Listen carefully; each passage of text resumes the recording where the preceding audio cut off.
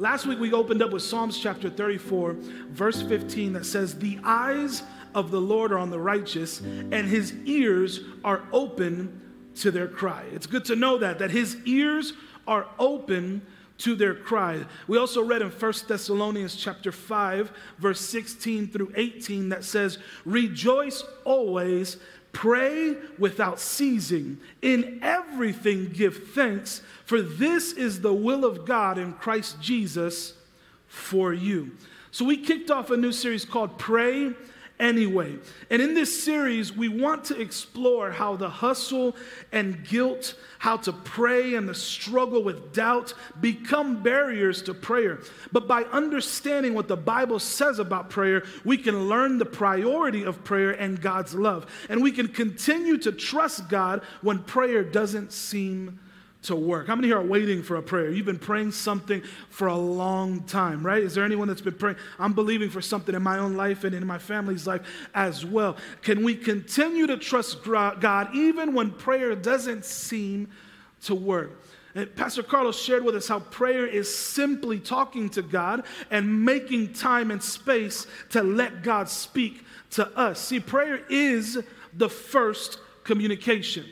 Uh, today we have our next, uh, our new members class. If you are someone that would like to become part of our revived church family and begin to serve and learn about the vision of this house, we do have a, a class today at two o'clock. We'd love for you to, to go get something or refreshments. We will have refreshments and come on back. But in our new members class, uh, we do share one of our church values, which is we pray first.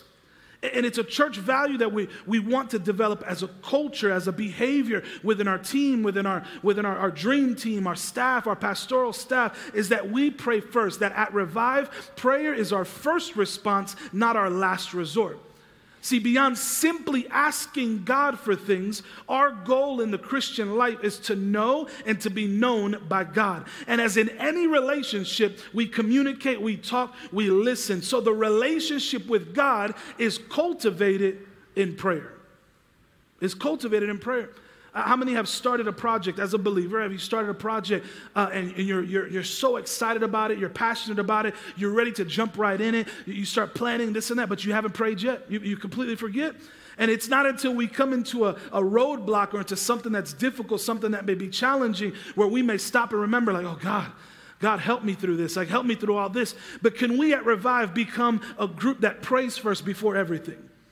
That the moment I wake up, my, past, uh, my dad said this morning, he goes, Man, would it be something if we wake up on a Sunday morning and, and prepare ourselves by saying, God, today save people. God, today bring people back home. God, today reconcile people. God, today let people know that they're not alone. Today, could that be a prayer that we can all do individually every Sunday in preparation for what God's going to do in this room today? Right? But a lot of times, natural in prayer, what we do is we ask things. We come with a grocery list of things. Nothing wrong with that, but that's just in our nature where we need help. That's when we ask. At least, and it's in a private sense, you know, because it's just going to God. We can be prideful to ask help from people, but it's God's like, God, it's me. You know, you know, you know, I'm going through this situation. You know, you know, I'm desiring this. You know that I'm longing this. You know that I need this. And a lot of us, we have those prayers every single day. I include myself. But a relationship with God is cultivated in prayer. So today I, I want to talk about the power of prayer. What is it and why it works? In Mark chapter 11, verse 24, Jesus tells his followers, Therefore I tell you, whatever you ask for in prayer, believe that you have received it and it will be yours. Wow, that's a, that's a different way to pray. Saying, as I'm praying, I'm believing I already have it. Like, Father, in the name of Jesus, I have that job. I'm getting that call tomorrow. But can I keep trusting even if it hasn't happened? Can I keep trusting though it does it seems a little delayed? Can I say, God, I received this report in, in, from the doctor, but God, I am healed in Jesus' name. Your word says, by your stripes, by what you did on the cross, I am fully healed in Jesus' name. That's a powerful prayer. That's believing in something that hasn't happened yet. There's immense power in the prayer of a righteous Christian. The knowledge that there is power in prayer is not new. Many of the greatest stalwarts in the Bible turned to prayer constantly because they understood what it could do for them. Today, thousands of people see miracles in their lives by tapping into this very same power in prayer. And this power of God, I believe in Jesus' name, is available to you right now in this moment. Amen. If you're taking notes, go ahead and write the title of my message into our pray anyways. But preaching a message called From Ordinary to Extraordinary. Write that down. From ordinary to extraordinary. Let's pray. Father, we thank you once again for allowing us to be here. We thank you for all that you've done from this morning up until this point, Lord. We thank you for already what's going to happen at the conclusion of this sermon. We thank you for what's going to be happening throughout this week and month, Father. Lord, we pray to you in Jesus' name, Lord, Lord, that you meet every need, Lord, that, that you're able to, to, to for people to feel and see and know and have an encounter with you in Jesus' name, Lord, so they know that our lives and our relationships is cultivated with you through prayer, Father. Let us walk out different than the way we walked in and let this message message, Lord, honor you and glorify your name. In Jesus' name, come on, we say. So, what is the power of prayer? See, there are many times we feel powerless in our lives, especially in the face of difficult circumstances. By ourselves, we can do nothing. The scriptures confirm this in John chapter 15, verse 5. Jesus says, I am the vine, you are the branches. If you remain in me and I in you, you will bear much fruit. Apart from me, you can do what? Nothing. You can do nothing. You know, throughout my journey in life, you know, it, with my family, it's funny how whenever God gives me a revelation that's to me for my own personal faith walk with Jesus, I, some, for some reason, I, I, it's either you could look at it as like it's a test from God, something happens in my life that all of a sudden I'm just like, oh God, you're testing me. Or, or God, why would you allow that to happen? And it's kind of like, you know, if you pray for patience, what ends up happening, right? Your patience gets tested, right? How do I build that fruit of, of, of patience if I'm not tested in something, right, that helps develop that within my life? My wife says I fail it every single day, right? Patience.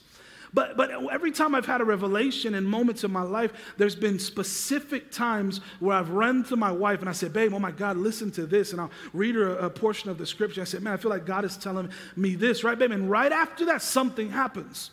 And I remember just, I, am like, God, I don't like to be utilized that way, but it, it seems like if I've received a revelation, if I've received something that God has given me comfort in and brought me peace, that the moment I walk out of these doors, when life impacts me, then I'm able to persevere and push forward because of what I just received. What, what, does that mean? I can listen to what I'm preaching and teaching in this very moment, but I have to actually apply it the moment I step out these doors. Uh, we, we could fail and be like, oh man, I, I forgot what he said, or, or this and that. Or we can look at it, it's like, God, well, you just said that you are with me always. You just said that you're carrying me. You just said that I'm in your arms, that I'm in your hands. You said that you that you you, you hold me in your arms. All those things that the moment life circumstances arrive that are difficult, I can rely on God's word and what I've cultivated in my communication and prayer with Him, and it lets me persevere and keep pushing forward. Amen. I remember when Jelani, my son, he's, he's right here in front, he's 12 years old today, but not, not today, but he's 12 now. But, um, and when he was three years old, I, I remember we were in our house and he was outside in the backyard. We had the door open. I don't remember just really exactly if it was just he went outside in the backyard or if we just, you know, knew he was outside. I just remember that he started screaming like something was hurting him uh, in the backyard. And, and I remember I was in my office and, and Maria comes out and she's like, oh my. And then we, we look what's happening and he's three years old. He's just in his pampers. He's in the backyard and he's just kind of like doing this. And it's a swarm of like hornets that were all over him. So what happened was a, a, little hornet's nest fell to the ground. He was curious. He, he was started messing with it, and it started and it started stinging him all over his body. I remember my wife in that moment, she's allergic to bees and, and has those types of allergies that when she saw that, her, her immediate thought, not that it just went to fear, she just knows what can happen if it's not treated in the moment, right? So she's like, um, and I remember grabbing him and, and I didn't know what to do. We didn't have time to pull up my phone and Google search. What do you do if you get stung 12 times? Three years old. And I remember going into my room and, and, and I put him on the bed and, and he's screaming and crying. And as I'm looking at my son, he has welts that are starting to grow from his face, in his neck, right here on his cheeks, on his arms, in his chest, and everything's starting to welt up everywhere where he was stung. It's a scary thing. I'm looking at him and it's like, and he's just screaming and crying from what would have been the pain, the burning sense, whatever it was in that moment. And, and I didn't know what to do. For a moment, I, I kind of was just like, what, what, I, I only knew what I could do from what I was taught from what I've seen, I grew up watching my father pray almost every single day, bumping into him in an office, going, Oh, dad's praying, and this and that. So, what did I do? I started to pray. How many been in a situation that's dire? You're like, Lord, your car shut off. And you're like, God, Jesus. Lord, right now. Father, the, the, the, what you've given to the, the man and woman, whoever it was that created this engine. You know, like just, you start praying all these things, Lord, just start bringing a juice into. Wake it up, right? Some of us, we even put kind of demands that have like a, you know, a result to it. Lord, if you do this, right? How many have prayed like that? Lord, if you just this one time, I promise I'll go to church on Sunday, right? It's like, he's like, you said that 15 other times and you're going to keep doing it, you know? And I remember I just started to pray, but something was different in this moment because my wife and I, we, we named our children intentionally with meanings behind them. We, we specifically named them saying that when I call your name, this is what I'm declaring over your life. And his name is Jelani Antonio Lopez. And I said, Jelani, which means mighty and powerful. It's an African name. And I said, I'm looking at him, Jelani. I said, Jelani, what is your name? I remember looking at him and he, and he was looking at me and he was like, he's like, and he's three. He's three. And I said, what is your name? And he's like, ah, he's screaming. What is your name, right? If someone was to see that, they'd be like, call child services. he's swelling all over, you know? I was waiting, you know, but we're in a room and, I, and I'm saying, what is your name? And, and I said, and he's like, you know, he's three saying his first. And I said, what's your full name? Wow, I'm challenging him at three. Give me everything first, middle, and last. And I said, Your name is Jelani. You are mighty and you are powerful. I said, Your name is Antonio. You're worthy of praise. And I said, What's your last name? This is all happening in split seconds. Please don't think that we had like a 30 minute dilemma just sitting there, just, you know, like, and then he died. No, no, no, we didn't do that. I, am looking, I say, And your last name's Lopez, which is wolf. It symbolizes power, cunning, strength, courage, family. And I said, That is what your name is. And I declare that over your life right now. Bring healing because you are mighty and powerful. Bring healing because you are worthy to be praised. Bring healing, Lord, because you have courage, you're strong. And you may look at that as something like that's kind of silly, right? I would have already been on WebMD, like trying to find out what's going on or, or take them straight to the hospital. Can I tell you that the moment that I started doing that, because see, the Bible says in Philippians chapter 2, verse 9, when God referred to Jesus, that therefore God exalted him to the highest place and gave him the name that is above every name. So as I looked at my son, I said, That is your name. But God, we serve a God that's a name above even your name, son. And that is what we're declaring right now in this very moment that in the name of Jesus, you are healed. Just radical moments in my family that I'll never forget. I'm just looking at him, and he's, I remember he stopped crying. He's like, but I felt so much conviction as I said it, like saying, God, you have the power to do this. In the name of Jesus, you're healed. See, we need to remember, though, that it is not merely the word Jesus that possesses the powerful authority, rather, it is the one behind the name Jesus. The reason for this power rests solely in the finished work of the cross. And I prayed in that name, in the name of Jesus, you are healed. See, we, we recognize the need for God's power. And this is the same power by which God created the heavens and the earth. It's the same power that parted the seas for Moses and that Jesus used to heal the sick and cast out demons. It was that power that raised Christ from the dead and brought a baptism of fire on the first Christians. That same power that when I declared healing over my son, I saw with my very own eyes the swelling of every single one of those things go down and disappear completely. Now, you may call me crazy. It was a revelation in that moment that his power is real. After that, we Google search, what do we do? Go ahead and give him some, you know, medicine for this and allergy medicine for this. But I saw with my very own eyes what was swelling start to go away. See, Paul tells us, or before I get that, I, I need you to understand all these miracles happened through the power of prayer. Moses prayed before Yahweh. Jesus prayed to the Father for miracles. The early Christians prayed together in the upper room, whether it was Daniel in the lion's den or Elijah before the false prophets. Prayer constantly served the important figures of the Bible. And we can harness that same power in our lives today. God gives us this power through the Holy Spirit. See, in Ephesians chapter 1, verse 18 through 19, Paul tells us that I pray that the eyes of your heart may be enlightened in order that you may know the hope to which he has called you, the riches of his glorious inheritance in his holy people, and his comparably great power for us who believe. That power is the same as the mighty strength. See, our heavenly Father gives us this power through his son Jesus. There is power in Jesus' name. How many believe that? Amen? In John 14, verse 13, Jesus says, I will do whatever you ask in my name, so that the Father may be glorified in the Son. There's a book called The Power of a Praying Woman. And, uh, and I saw this quote online from Stormie Omartian. She says, We have to put our expectations in the Lord and not in other things or people. See, prayer works because God wants our complete dependence on Him. He wants us to recognize that without Him, we can't transcend our limitations. God is the source of our fulfillment. He is and wants us to make Him the answer to our longings. Prayer draws us into a deep relationship with God, and our prayer life brings us closer to Him through honest communication, just as any child does with their parents.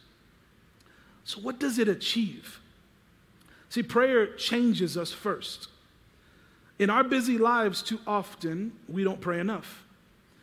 Or we pray for our most pressing needs and treat God as a genie, right? Deep intimate prayer draws us close to the heart of, of the Father, the heart of God. It helps us become more like Him. Prayer lets us hear the Father's voice and direction. It inspires us and gives us answers. It reveals our flaws and perfects us. It is an avenue by which we can repent and be forgiven for our sins. And as we share our deepest longings with God, we change and become the people God wants us to be. There is power in prayer. See, like right now, for the past month, we've been believing for a new building. Right? We, we're renting this place. This is a place that's rented. We've been blessed by the pastors right here next to us in this Korean church that have allowed us to transform this when we took this over, none of this was here. None of the stage, none of, I mean, it was just completely, just none of that in the back was nothing. That room for Revive Kids was, it was just an empty space. We walked in there. I remember my dad and I walked in and we came all the way to the front. There was a little small, like makeshift, makeshift stage. It actually uh, started from right here, the stage the stage ended right here. So it'd be like right here. And so we, we expanded it to allow us to do things with our arts and with our worship. And, and so we've been faithful, I truly believe, with what God's allowed us to have throughout this season. Right? We've been faithful throughout the heat. We've been faithful throughout the limitations of, of, of rooms our kids, we've said it, they don't fit anymore. And, and if you weren't here last week, uh, uh, we, we, had a beautiful testimony to hear that, that the pastors at the Korean church right next to us have, have granted us to, to have two rooms on Sundays here very soon for our older kids to go over there to, to really offset and, and kind of give space over here. I know, yeah, that's, that's amazing. So when you pray, I want you to pray for that church right there next to you. Pray for those pastors, for their team, for their staff, that God does miraculous things because of what they're doing right here for us. And so, so hearing these things, we've seen God do the miraculous. We're in a position as a church where we are not in debt. We're not in debt.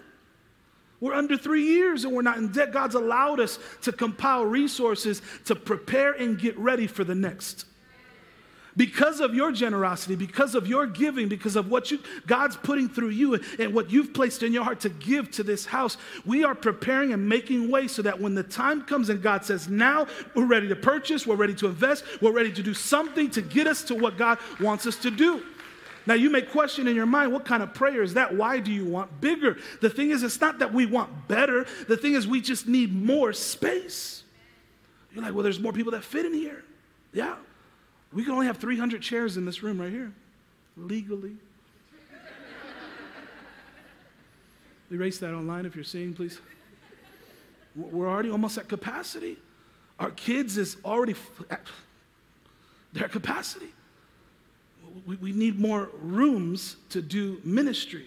This church is open almost every day. Prayers on Monday, worship on Tuesdays. Wednesday, there's workshops, there's, there's different things and happening, meetings that happen. Thursday, our arts meet. Friday, a day off every now and then. But then there's stuff that happens here. Saturday, there's now arts rehearsals too, and there's things that happen even on Saturdays. And then Sunday, we are here giving God praise. It's every day. Amen? And so when we ask God, Lord, we need our own building. Can I raise your faith? Right? That if you've been a part of this house since the beginning or you just joined from the last six months, I challenge you and ask you to align your faith with ours. That when you give your offering today at the end of the service, we're not asking for no amount. We're not, no, no, just that when you feel like, Lord, I know where this is going.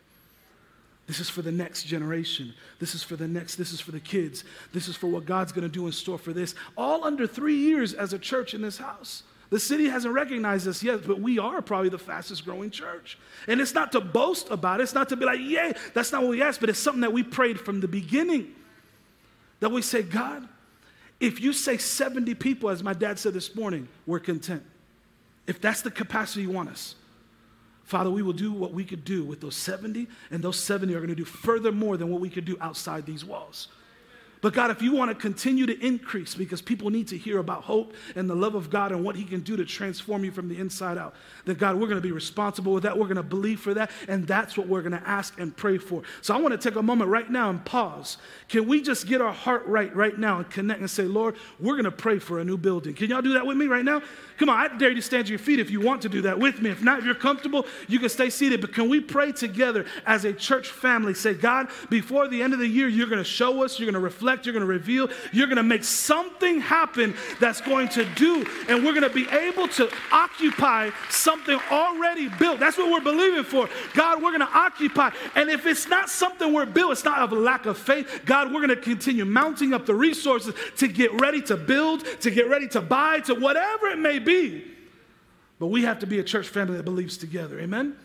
Amen. Let's pray. Father, we just thank you right now, Lord Jesus, as we declare for a new building, Lord. Lord, we don't just say it because we just want it, Father. We are seeing the need, Lord, and ministry is, is, a, is the, the opportunity to serve a need, Father. And we just ask you, Lord, as you continue to expand us, Lord, that we're able to give, Lord, a ministry with excellence, Lord Jesus, Lord, with the space that is required. Lord, we ask you that all that you've allowed us to do in this house, Lord Jesus, that it's already going to be a blessing for the next house that occupies it after us. Father, we're believing, Lord, for that building in our city. Lord, a building, Lord Jesus, that's been separated, has been set apart, that is anointed and ready to be given and placed into our hands in Jesus' name, Father. We are believing for it. We are calling for it. Lord, we know, Lord Jesus, that if it happens and it doesn't happen, Lord, we're believing we're trusting in you, God. And we thank you for your yes. We thank you for what you've already done. We thank you for the past victories. We thank you for all those you continue to send, Lord. Lord Jesus. We thank you for the equipment and the equipment and all the, all the resources that have arrived into our hands.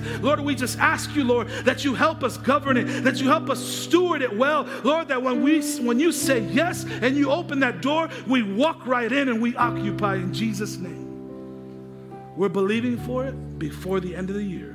In Jesus' name. Come on, we say amen, amen, amen.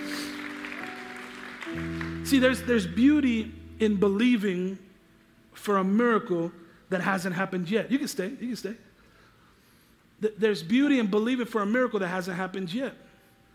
So every week, we're going to come together and do a collective prayer until it happens. Amen? Y'all believe in that with me? See, Jesus Christ himself teaches us the power of collective prayer. In Matthew chapter 18, verse 19, Jesus says, If two of you agree on earth about anything you ask, it will be done for you by Father in heaven, by my Father in heaven. He even gives the template of the Our Father or the Lord's Prayer to show us how we must pray. Faith in collective prayer is encouraged.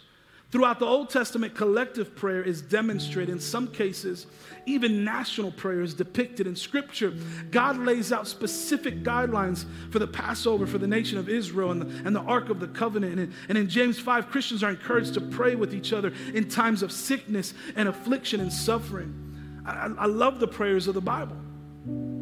They shape my own prayers more than anything else. I love the prayers of Paul in Philippians chapter 1, verse 9 through 11, in Ephesians chapter 1, verse 16 through 21, and in chapter 3, verse 14 through 19, in Colossians chapter 1, verse 9 through 12. Write those down. You look them up later. But I love the prayer of Jesus in John 17, and I love the whole book of Psalms which is the inspired prayer book of the church, filled with such a range of emotions that, the, that cry out of our heart, and almost any experience can find words in the Psalms. But the prayer in the Bible that has gripped many people and many of us the most as we're preparing for this series is the Lord's Prayer in Matthew chapter 6, verse 9 through 13. And it says, This then is how you should pray Our Father in heaven, hallowed be your name. Your kingdom come, your will be done on earth as it is in heaven. Give us today our daily bread and forgive us of our debts, as we also have forgiven our debtors. And lead us not into temptation, but deliver us from the evil one. See, the Lord's Prayer is very true to life in this sense. Life is a combination of spectacular things and simple things. In almost everyone's life, there are breathtaking things and boring things fantastic things and familiar things, extraordinary things and ordinary things, awesome things and average things, exotic things and everyday things. That's the way life is. And looked at one way, that's the way the Lord's Prayer is. Almost everyone notices that it has two parts. The first part, verses 9 through 10, has three petitions. And the second part, verses 11 through, 11 through 13, has three petitions. The first three petitions are God's name, His kingdom, and His will. That's what it's saying. God's name, God's kingdom, and His will. It says, Hallowed be your name, your kingdom come, your will be done on earth as it is in heaven. See, we are asking God to bring about these three things. God calls your name to be hallowed, to be made holy, consecrated, to be greatly revered, to be honored. God calls your kingdom to come, calls your will to be done as is done by the angels in heaven. The second three petitions are food, forgiveness, and holiness.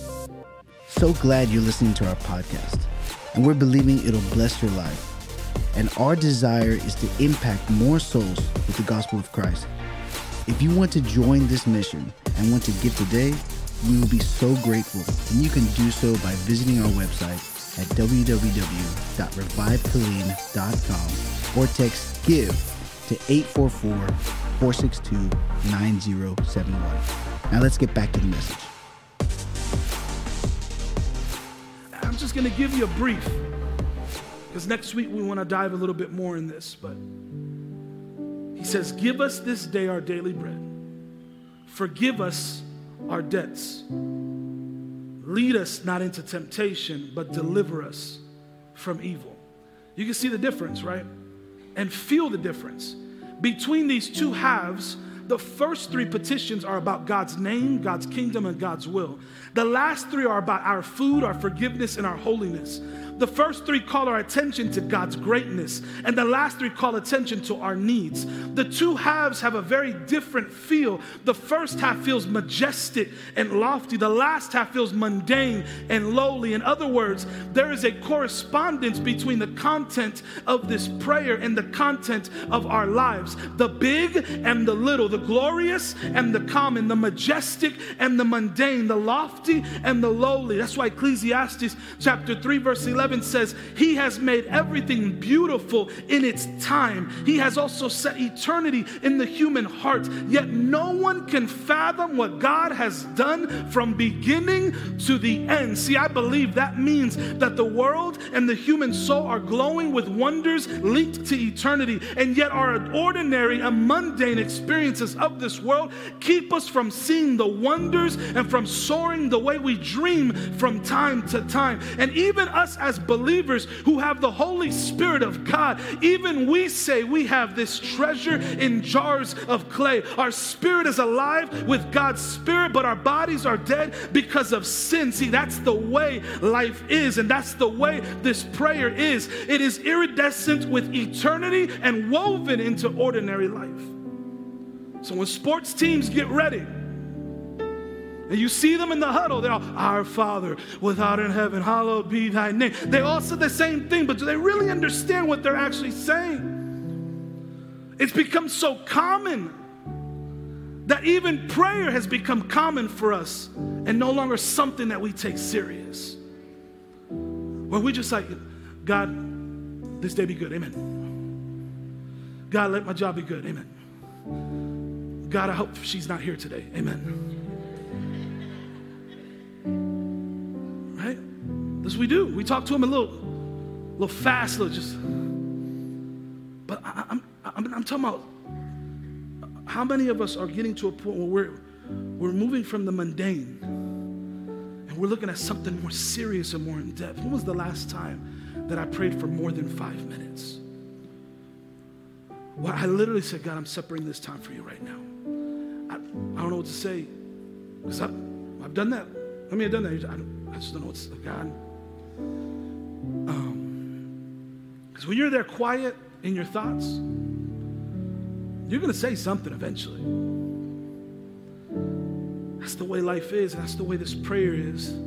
See, verse 9, he's saying, Father, cause your great and holy name to be honored and reverenced and esteemed and treasured above all things everywhere in this world, including my heart. He's saying in, in, verse 10 and cause your glorious sovereign kingly rule to hold sway without obstruction everywhere in the world, including my heart. Saying in verse 10 and cause your all wise, all good, all just, all holy will to be done all over this world the way the angels do it perfectly and joyfully in heaven and make it happen in me. That's the breathtaking part of the prayer. And when we pray it, we are caught up into great things, glorious things, global things, eternal things. God wants this to happen. He wants your life to be enlarged like that, enriched like that, expanded and ennobled and soaring like that. He wants us to pray a prayer to say, God, what is your will for this week? God, that when I step in through my job, Lord, give me the opportunity to share my testimony. God, make way for me to let someone know about Jesus. God, what was the last time we actually prayed? Lord, give me the opportunity to share about your love. Lord, let it be reflected within me that, that the moment difficult decisions come in my job or, or in school or that difficult teacher, God, help me in my response to glorify your name. Come on, can we pray with a prayer that's majestic to say, Lord, let your will be done. That's a selfless prayer because you're not asking. See, but here's the thing there's the second part. Because then we pray in verse 11 Father, I'm not asking for the bounty of riches, I'm asking for bread. Just enough to give me life. I want to live. I want to be healthy and to have a body and a mind that works. Would you give me what I need for my body and my mind? Then we say in verse 12, and Father, I'm a sinner and I need to be forgiven every day. I can't live and I have no desire to hold any grudge. I know I don't deserve forgiveness, and so I have no right to withhold it from anyone. I let go of all the offenses against me. Please have mercy upon me and forgive me and let me live in the freedom of your love. And of course, we know now what Jesus knew when he said, when he said, also say to this in his death, This is my blood of the covenant, which is poured out for many of the forgiveness of sins. See, See, when we pray for forgiveness, we expect it not merely because God is our Father, because our Father gave His Son to die in our place. I'm trying to teach you something today. Because Jesus says, This is how you pray. He says in verse 13, and Father, I don't want to go on sinning. I'm thankful for forgiveness, but Father, I don't want to sin. Please don't lead me into the entanglements of overpowering temptation. Deliver me from evil. Guard me from Satan, from all his works and all his ways. Grant me to walk in holiness. See, that, that last part, that's the earthly part of the prayer the mundane, the daily, the nitty gritty struggle of the Christian life. We need food and forgiveness and protection from evil. Jesus wants us to feel the fatherhood of God as an expression of his readiness to meet our needs. See, next week we'll talk more about the Lord's Prayer and, and break down these six petitions. But I want to remind you and remind us today that there is power in prayer and you can begin today. See, the Bible has numerous scriptures and stories about the power of prayer and how it works in people's lives. See, Hannah's powerful prayer in, in 1 Samuel is a good example. And it's, it's, it's how this power works. Hannah was married to Elkanah, who loved her deeply. And however, Hannah was barren, she couldn't give him a child. And her story, her deep longing for a child, drove her to despair. She cried out to God in prayer to bless her, and He did. The birth of the prophet Samuel made Hannah sing a song, a beautiful song of praise in response to the answered prayer. Her story demonstrates the Lord God's omnipotence and how He does hear us when we pray and that He does love us. So he hears your prayer, he hears your plead, he hears what you desire, and he responds to our faith. See, God hears our prayer requests, and I close with this. And God answers them too. He is a holy God, and He wants us to strive to be like Him. In Matthew 5:48, Jesus explicitly asks us to be perfect like the Heavenly Father is perfect. Prayer can help us have the strength and power to be righteous. Through righteousness and the grace of God, we are able to use the power of prayer in every aspect of our lives. We won't be perfect, but through prayer we become perfected. God asks us to abide in Him through our Bible and prayer life, and that we can ask Him for anything that is good if we don't abide by God's word and follow his precepts, then we are powerless. It says in James 5:16, therefore, confess your sins to each other and pray for each other so that you may be healed. The prayer of a righteous person is powerful and effective. Amen. It's powerful and effective. He takes what you're facing and going through that to many people may look ordinary. And with your prayer, God can do something extraordinary. He takes what looked like was never going to happen, but your faith and your prayer and your believing, God takes what looked like wasn't going to happen and begins to open doors and breakthrough begins to happen in your life. But see, as I cultivate prayer in my life, it starts with a relationship with Jesus. I can't just pray for just what I want. God is saying, Do you have a relationship with me that you that you could be capable of honoring me and, and worshiping and praising me the way the first three petitions are? Where I'm calling out what he's done before he's able to do it for me. It starts with relationship. I can't have a girlfriend or a boyfriend and not have communication and talk and grow. It's through communication and those hour long conversations and those 2 a.m. late night phone calls where I start developing a stronger feeling for the person to be like, I want to know you more. I want to be with you. I want to be by your side. I start falling in love. All of a sudden, things be, I want to be with them all the time. And that is what God desires in a relationship with you. A lot of us, we only respond when we're going through something, and God is saying, That's all you need me for. I'm not just a genie that you just rub on to say, This is what I need for the day. I want to have a relationship with you, and a relationship is only cultivated through prayer. It's through taking moments and saying, God, I'm here.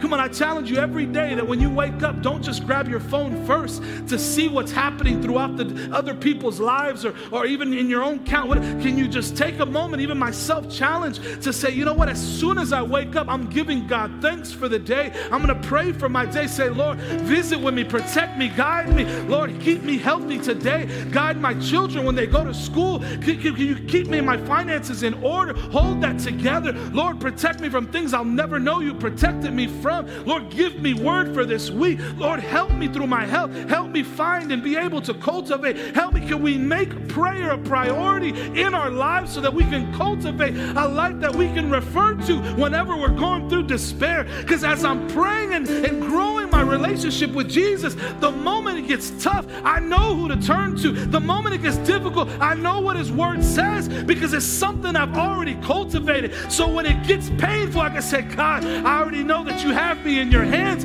You already gave me that comfort last week. God, I already know that you're going to open this door. You already gave me that comfort this morning because I'm speaking to you. Ask any female in this room today that if your husband or your boyfriend doesn't call for a week, how are you going to feel? Just ghosts you. You're just like, why hasn't he called me yet? What is going on?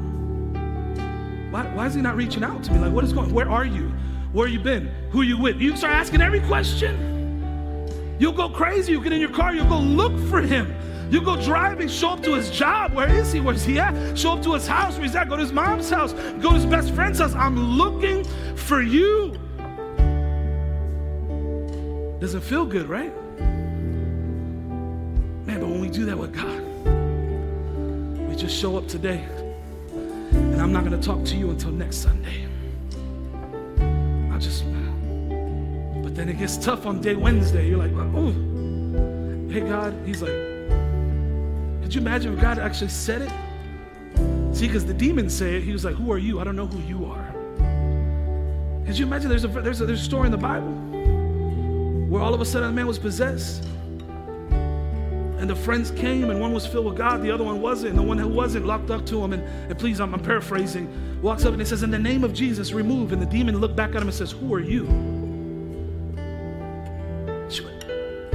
Did you imagine that? That's cold blooded. The demon looked at him and said, Who are you? I don't know who you are. You don't give me fear. I'm not scared of you. But when you have prayer in your life, when you make it a priority in life, I can walk into a room and say, In the name of Jesus, you are in this place. I could walk into a hospital room and say, God, in the name of Jesus, let your will be done. We are praying for healing in Jesus' name. I can go into an assembly room, it doesn't matter where we may be, because of the God that's inside of me. There's a power our prayer to say, We declare things that haven't happened yet, and I have the faith that it will happen. That's why we're believing for certain things to say, God, because of what you've already done, what I've experienced, what you've done, what I've seen you do, my faith is aligned to that. I want to abide in you. And because I abide in you, when I speak, things have to move. says all it takes is the size, your faith as a mustard seed, to tell a mountain to move. That's all it takes. And some of us, we're trying to analyze it and we're trying to like, remember, how does that, how is that possible? God is saying, man, if it just takes a little bit of faith, that's what it's capable of doing. Imagine full, sold out, all in, everything inside, every fiber of me, faith, what it's capable of doing. You can never tell somebody no that it will never happen with someone that has faith like that.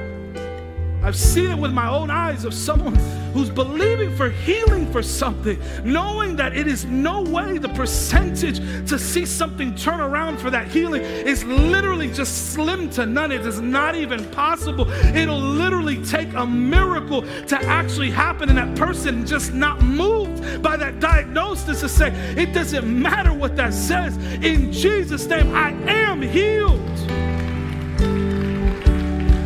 I'm healed. See, I close with this because it was powerful what my dad said this morning. See, because you can walk in the footsteps of the Savior and testify to the world that there's power in prayer. You look ordinary, but when God's in it, becomes extraordinary. The, the media doesn't have this verse, but in Matthew 5 1, it says, And seeing the multitudes, he went up into a mountain. And while he was set, this is Jesus, his disciples came unto him. He says, Seeing the multitudes, see, the multitudes only wanted to receive. They never gave back in return. The disciples received and gave back to him. See, while the disciples were at his feet learning, the multitudes were busy chasing after things, things they would leave behind when they died. Could it be that the church today is full of multitudes and a lack of disciples? How many of us are going to the feet of Jesus and saying, Jesus, I'm here to soak it all in? Lord, I want to learn from you. I want to live a life according to what you have in store for me. See, a lot of you, you heard that and you're thinking, oh my God, I got to give up so many things. And, and it brings that quote to me, It says, don't judge me because you sin different than me. That's just an excuse. And the reality is, is that the gospel is something that confronts and impacts the heart of people to no longer sin. It's a commitment to say, God, I am here for the long haul. I'm here until the end of my life. I'm believing that you died for me, and I'm going to serve you for the rest of my life.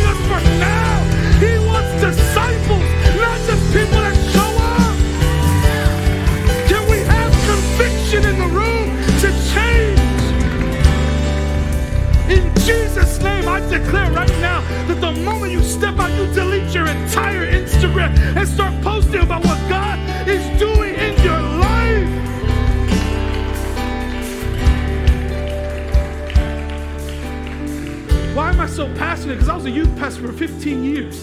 And I'm tired of young adults and people that have been called and gifted and stewarding our young kids away because you want to live a life on your own when God has called you for great things.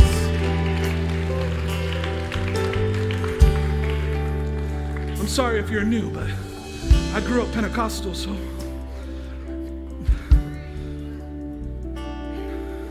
Are you a multitude or do you want to be a disciple? Do you only come when you need something? Or do you come saying, Lord, I'm ready to learn? I'm, I'm at your feet. I'm here for you, God. I only need you. I, I want you. I don't know my mom doesn't want you. My dad doesn't want you. My friends want nothing to do with you, God. I know this hurts. I know it's a cost. I know it's a sacrifice. But you said it, Jesus. And so I decide to follow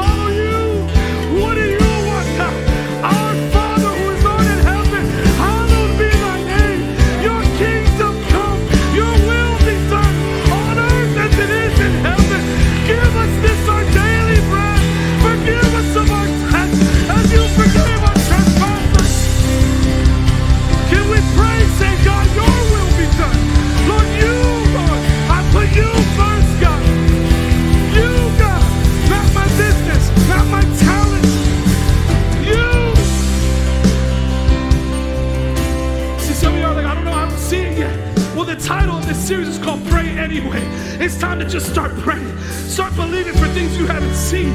Start declaring and changing things up. Because you've been doing it in your own way. It's not working.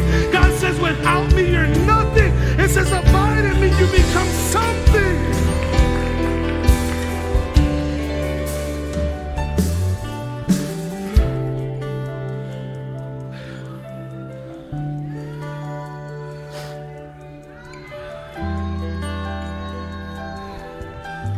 Pastor Rick Pina says, You can either allow your day to order your prayer, or you can let your prayer order your day. Say, God, what's your will? That changes everything because He knows what you need. He does. He knows what you need. He knows what you long for. He knows what you desire. He knows what you've sacrificed for. I posted something today that really was convicting hearing my dad preach. I'm a family of five with three kids, and I need God just like you. And I recognize when I start measuring what I've lost because I follow Jesus. I've lost friends, best friends that I've been with all my life. I'm the only one out of all my friends I grew up with that's serving God today. The only one that I know of. And the ones that I'm still acquainted to that have you a little that put man in, in the forefront to say because of who man is and what he's done and what they're doing, I won't follow God. How ignorant does that sound? that you decide to come to a church and say, you know what, all they want is money. All they want is this. I'm sorry that somebody hurt you. I'm sorry that you saw it just a different way. God has challenged us not to build this church around a man, but to build this church around the presence of God. And when you build it around the presence of God, we receive accountability to be who God's called us to be. And So you'd rather lose your life and say, I'm waiting for the apology. The apology may never come. I mean, people are dead right now in a grave and they have no idea that there's debt on them because they're waiting for that dead person to forgive and to say sorry. Forgiveness is for you to be free. Forgiveness is for you to move on, even if you never see the justice served for what they did to your life. It's okay, you leave it in God's hands. That's what prayer does. It cultivates peace, it cultivates joy to say, God, I don't know how to say I'm sorry or I don't know how to give forgiveness. But what does he say there? Jesus says, Forgive me in the same way you forgive others. So that's what Jesus is telling us to do. There's an immense power in daily prayer. Jesus tells us that with the power of the Holy Spirit, we can do great things as he did. Jesus is our role model to be able to tap into this power we need to look internally at ourselves. Do I wake up and pray as he does? Do I fast and resist Satan like him? Am I holy? Do I love my brothers and sisters the way he does? You can walk the footsteps of the Savior and testify to the world that there is power in prayer. Come on, bow your heads right where you're at. Father, we just come to you in this moment. Thank you for these moments and for this word. Lord, as I place it in your hands as it was being prepared, I place the result in your hands, believing, Lord Jesus, that it reaches who it needs to be reached. Touch your people. Lord, to receive conviction, not condemnation, conviction to be like, I need to fix my life. I need to start doing the right thing I need to stop being prideful. I need to let this go to God. Because we all know what God's capable of. It's hard to release it because we're in pain or we've been rejected or been betrayed. I believe in the name of Jesus today that it reaches who it needs to reach, touches who it needs to touch to bring comfort and fulfillment that when they say yes to you, God, life begins to change in Jesus' name. Amen. Let's all stand to our feet. I just want to do a prayer and a call.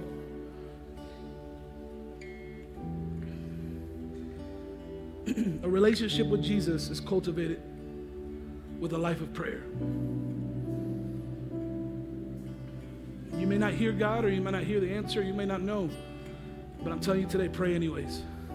He operates in the extraordinary. He takes what we are and makes us greater than what we could ever become ourselves. And it's not for our glory, it's for His.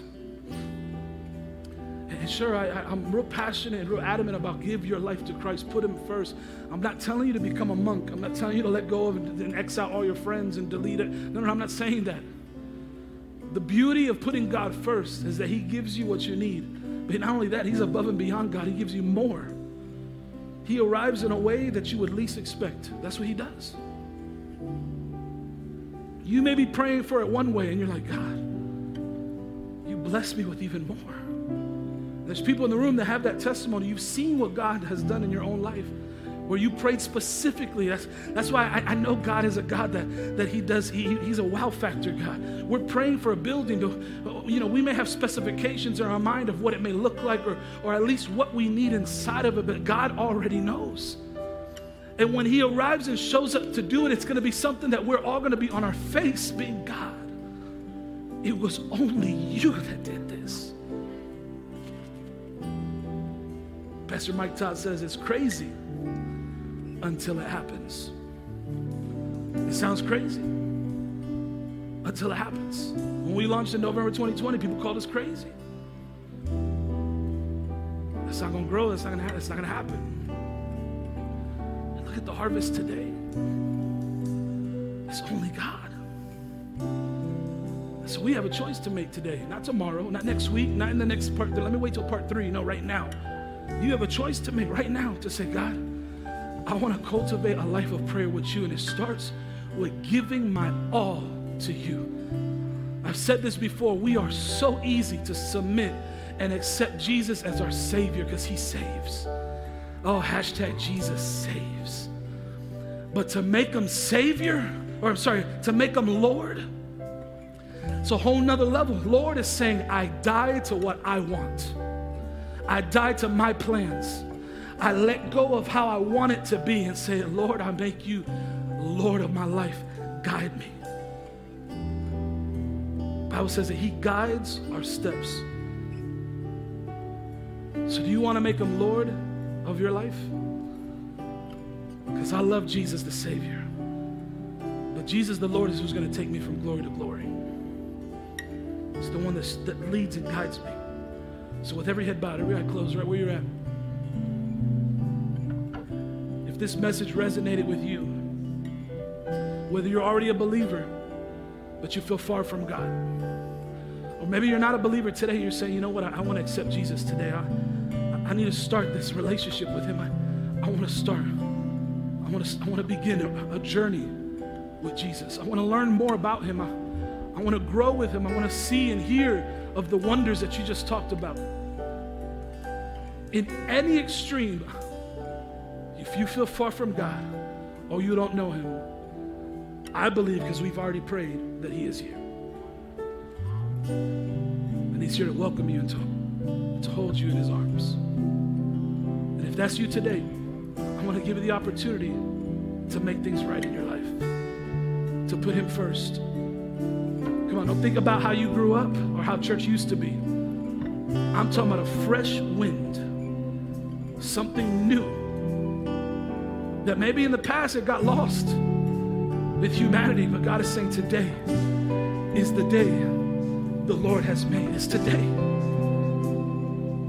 It's another beautiful verse that says, Weeping may be for the night, but there's joy in the morning. I believe it's morning right now in Jesus' name. That's like a commandment. Joy has to come. Weeping may endure for a night, but joy comes in the morning. It has to come. It's a promise by God. If that's you, on the count of three, you're saying, Today, I'm receiving Jesus Christ as my Lord and Savior. Or today, I feel far from Him, but I want to be close to Him again. I want to reconcile and I want to start a journey with Him right now. If that's you, one, two, three, lift your hands if that's you today, Say, Today,